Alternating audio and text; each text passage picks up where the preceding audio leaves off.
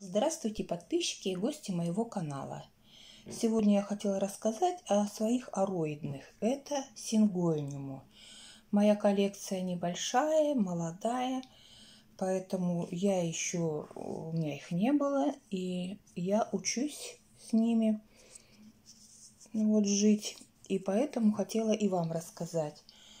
Ну вот сингониум это травянистая лиана. Вот посмотрите, она, когда ее э, садите уже на постоянное место, большой горшочек, ее нужно обязательно, чтобы была опора. Вот здесь вот я уже поставила, но он еще у меня маленький, поэтому ему достаточно вот этой шпажки. Ну вот, это у меня сорт Виндлайт уж, ушковый, или как он называется, прям вот видите, посмотрите, какой у него лист, очень такой оригинальный, симпатичный, вот они молоденькие начинают у меня вылезать, вот видите, какой он светленький, блестящий, вот они ушки у него, вот, ну, вот так вот он смотрится. Ну, вот я его тут связала немножко, чтобы он не падал.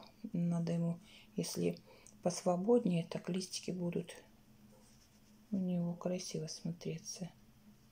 Вот, видите, какие они. Вот такой вот у меня есть сортик. Вот это называется конфетти.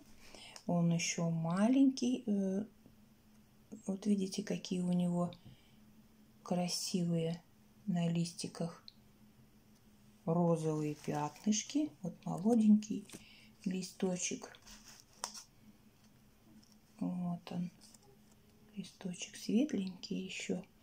Но пятнышки розовенькие у него есть.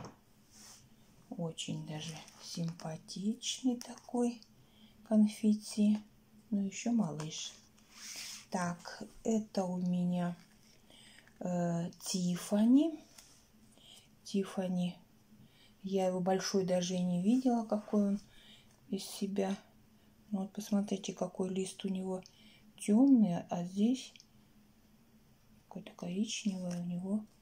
Ну вот он растет, молоденький листик вот разворачивает мы заглянем туда маленько. Вот видите, какой он весь розовый становится. Ну, эти вот мелкие листики у него еще. Я думаю, что листья будут большие у него. Вот этот, видите, уже вообще побольше. Ну, такой необычный, такой темненький Тифани. Вот этот у меня не он. Вот я так думала, что у него такие листья и будут. А они, посмотрите, какие все, все стали розовые. Вот тоже молоденький. Вот. Какой красивый лист. Вот. Розовенький. А эти вот. Ну, может быть, потому что зима была, они такие. А, а весной вот они прям стали очень даже красивый. Ну, тоже вот он еще у меня не очень большой. Вот, маленький. Ну и вот еще один у меня. Это называется панда. Панда, она э, на листиках у нее желтые. Такие крапины, полоски. Вот я думаю, сейчас на солнышке она должна больше окраситься. Вот тоже молоденький листик у нее. У нее был большой лист, но он пропал, прям весь-весь был в крапинках. Ну, тут не будем тоже мы его сильно так ковырять. Вот. Вот такие вот крапины. Такие вот желтые тут есть. Мало, конечно, потому что света, наверное, ему не хватало. Поэтому, ну вот немножко о сингониумах расскажу я. Вот у них вот, я уже показала, вот, вот эти вот корешки воздушные. Э, вот видите. И можно, когда вы пересаживаете, можно его вот так вот, вот обрезать. И вот эти вот воздушные корешочки поставить в водичку, и они хорошо разовьются и э, посадить тогда. Вот. Им нужен э, яркий свет, но притененный, естественно, потому что листики, вот видите, какие молоденькие, мягкие такие. Они обязательно погорят, они не любят, чтобы солнце было яркое на них. Вот поливают по мере необходимости.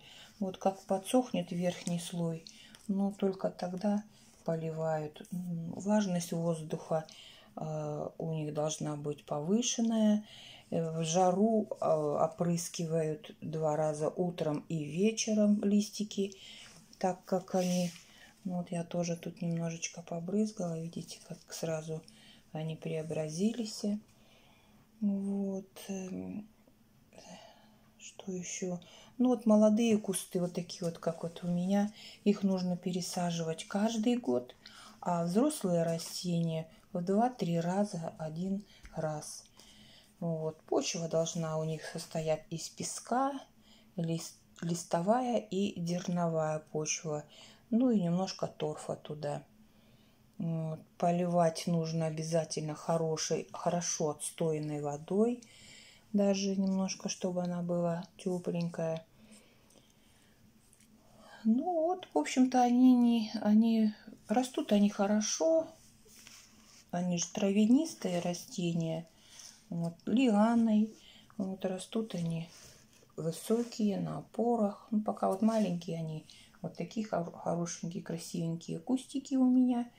Вот посмотрим, что будет дальше. Я вам покажу, как они подрастут. Ну, пока они мне очень нравятся. Мне вот женщина осенью принесла на обмен цветочков. Ну, вот и получилась у меня коллекция. Я, в общем-то, не собиралась ее разводить, но, но она мне понравилась, эти цветочки.